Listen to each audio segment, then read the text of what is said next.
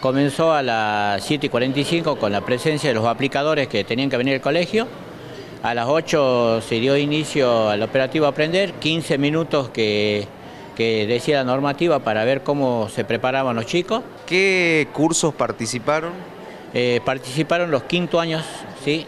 Eh, en este caso en el turno mañana los tres quintos y a la tarde son dos quintos, en total son cinco quinto años. ¿El contenido cuál es? Los contenidos son lengua y matemática y una, eh, un censo general que le hacen a los colegios de parte de, para los directivos. ¿Los resultados para cuándo se esperan?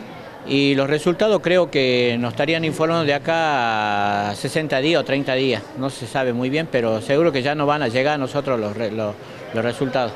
Eh, ¿Los chicos terminaron rápido el examen, demoraron? Y por ahora eh, parece que terminaron todos,